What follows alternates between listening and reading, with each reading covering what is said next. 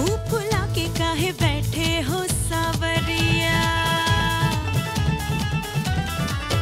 आँख चुरा